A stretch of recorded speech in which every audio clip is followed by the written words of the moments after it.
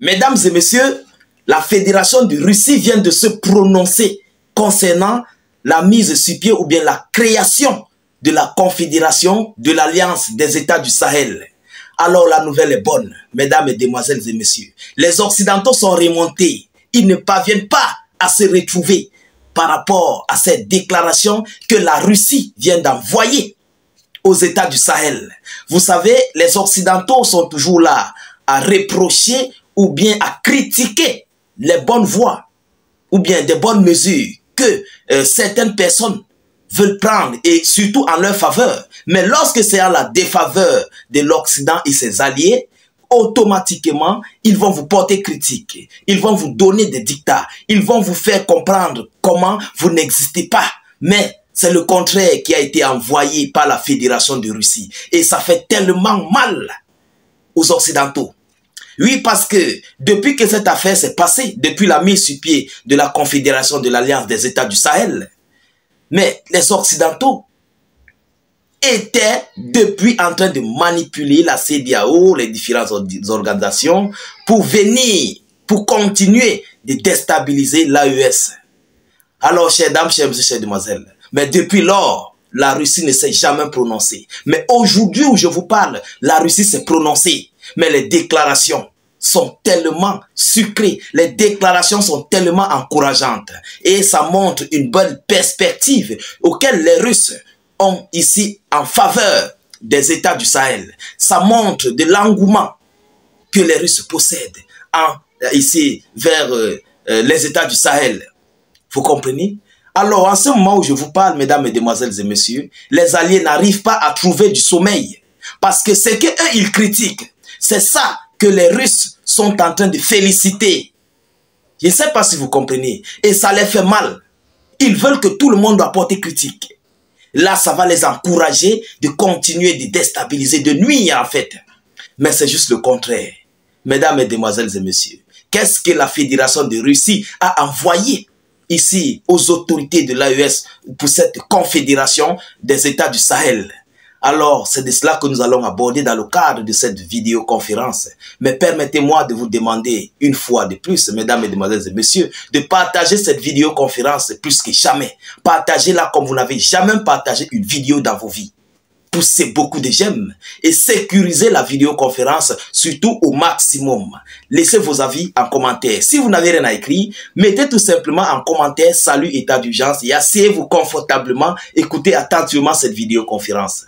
Alors, mesdames, et demoiselles et messieurs, qui fait cette déclaration? C'est la porte-parole des affaires étrangères, madame Maria Zakharova. Et oui, elle parle au nom de la Fédération de Russie, en son poste de porte-parole de la ministre des Affaires étrangères. Si je ne me trompe pas, je crois que c'est son poste. Alors, qu'est-ce qu'il dit? Écoutez attentivement ce média local et nous allons entrer en profondeur dans les décorticages et surtout les analyses. La Confédération des États du Sahel aidera à lutter contre les terreaux-terreaux et dia-dia selon Moscou. Alors, ça a été mis sur pied. Vous savez, lors d'une confédération, toutes les forces se mutualisent pour faire face à un ennemi commun. Et lorsque l'Occident se retrouve être en train d'être abattu, mesdames, et demoiselles et messieurs, automatiquement, ils vont critiquer la chose. Ils vont porter critique. Vous comprenez? C'est ça qui énerve les Occidentaux. Pendant que eux, ils portent critique, Moscou félicite. ça fait très mal. C'est fort. Et surtout, partagez-moi la vidéo. Partagez au maximum. Alors, la Russie considère la création de la confédération par le Burkina Faso, le Mali, le Niger comme une étape importante pour lutter contre les groupes les groupes I, voilà, vous comprenez déjà, les groupes EI, vous comprenez Je ne veux pas prononcer le mot. Contre les groupes I dans la zone saharo-sahélienne, a déclaré Maria Zakharova, porte-parole du ministère russe des Affaires étrangères. Mais elle ne s'est pas arrêtée là. Chers dames, chers messieurs, chers demoiselles, elle a fait des déclarations. Elle parle au nom de Moscou je vous le dis, au nom de la Fédération de Russie, au nom de Vladimir Poutine. Oui, elle est chargée pour ça. Chères dames, chers chères demoiselles, l'Occident a eu la chair de poule Oui, ils ont eu la chair de poule lorsqu'ils ont suivi ces déclarations. Écoutez, nous sommes convaincus que la création d'une confédération aura un impact positif sur la formation d'une nouvelle architecture de sécurité régionale, a-t-elle souligné en conférence de presse. Mais, chers dames, chers messieurs, chers demoiselles, l'Occident ne veut pas du tout voir ça. Ils ne veulent pas voir les pays du Sahel se former, se regrouper, se solidifier. Ça les fait mal. Mais pendant qu'eux, ils ne veulent pas voir ça, la Russie continue de soutenir. La Russie encadre, la Russie protège, la Russie fournit tout ce qu'il va falloir pour que les pays de l'Alliance du Sahel soient encore plus forts. Et d'ici peu, ces pays seront les premières puissances militaires en Afrique. D'ici un bout de temps. Parce que ils sont en train de s'acquérir des armements très puissants et sophistiqués. Et oui, c'est de ça qu'il s'agit. Mesdames, Mesdemoiselles et Messieurs, pendant ce temps, l'Occident continue de faire son tapage. Il continue de former des hommes du côté du Bénin et de planifier des coups ici du côté de la Côte d'Ivoire pour continuer de venir déstabiliser plus que jamais nos valeureux pays des États du Sahel. Mais ça ne nous fait ni chaud ni froid parce que nous avons du matériel pour ça. Nous avons des satellites dans les cieux pour ça. Nous avons tout ce qu'il nous faut, des générations, euh, du matériel de cinquième génération pour faire face à ces différents envoyés de l'Occident sur nos différents territoires, sur nos différentes terres. Chers dames, chers messieurs, chers demoiselles, que tous les Africains se mobilisent parce que nous sommes en train de prendre notre envol petit à petit. Nous sommes en train de l'arracher. Vous comprenez? On arrache notre liberté. Et c'est ce que ces Occidentaux ne veulent pas. Ils ne veulent pas voir en fait comment les Africains sont en train d'arracher leur souveraineté. Ils sont remontés.